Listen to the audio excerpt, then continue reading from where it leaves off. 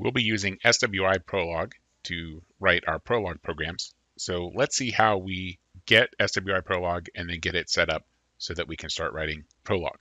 So we'll open up a browser and we'll go to the SWI Prolog homepage, which is swi-prolog.org. And there's some really nice documentation and tutorials here, but what we're going to be focused on is we want to download SWI Prolog, and we want the stable release. Make sure you don't click the development release. The stable release is what we want. And then you can see the different versions that you have. And so you'll select the right one for your particular PC. We'll select Microsoft Windows 64-bit, and you'll see there's some stuff about how sometimes this gets classified as malware, and you should be safe downloading this. So we'll click on the download link and wait for it to download. And once it's done, we'll open it. This will open the installer. Yes, we want to install it. And we want to agree to the user agreement. And then you don't really need to add SWI Prolog to the system path. It's up to you if you want to use it from the command line and so forth. However, maybe you'll want to create a desktop icon. Again, that's up to you, but the defaults should be fine. We'll have it add to the start menu, and we'll just leave these components that it get installed as the defaults. We will not even begin to scratch the surface of, of most of these, but it just makes things easier just to install everything. So now that it's done, we'll click Finish, and let's go ahead and close the browser. And to test that it works, let's look in the Start menu, and you can see that it's recently added, and then there should be a folder for SWI Prolog here, and you can see some different things. So let's click on it and you can see that it runs. Welcome SWI Prolog and there's some information there. So let's move this down here. This is not an IDE. This application is what we're going to use to run queries on our Prolog program. Now, there's no editor built in here, so we'll need to edit the file some way ourselves. Now, you can use any editor you want, but to keep things simple, I'm going to just use Notepad. And I'll create a very simple Prolog program.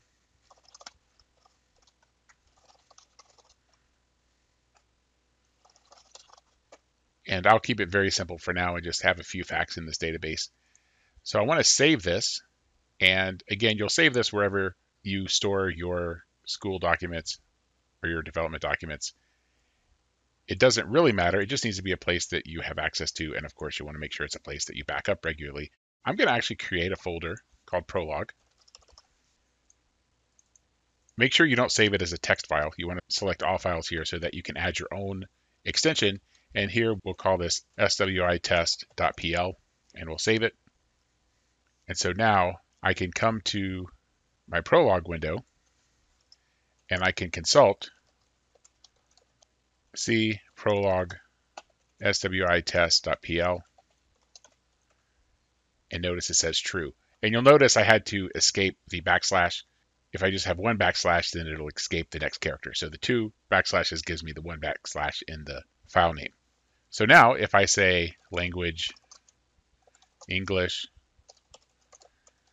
it says false. But if I say language Java, it says true and I can say language X, X is a variable here, and it'll give me Prolog scheme in Java.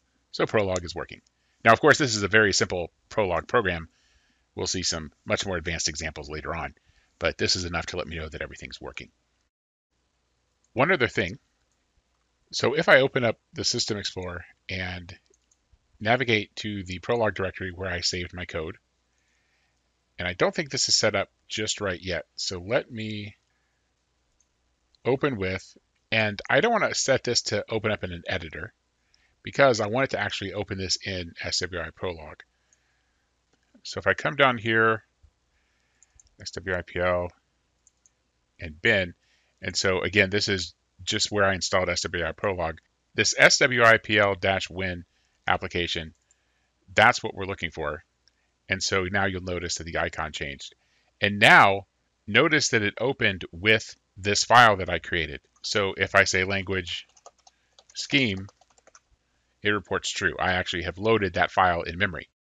And if I edit this, and again, if I right click and say open with Notepad, and again, you can use any editor you want. It's completely up to you.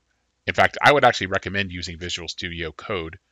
And you'll see in the videos that I switch between Visual Studio Code and Vim as my primary editors, but I'm using Notepad here just to show it doesn't matter. Just use whatever you're most comfortable with. Now, if I add a new language, and I'll save this,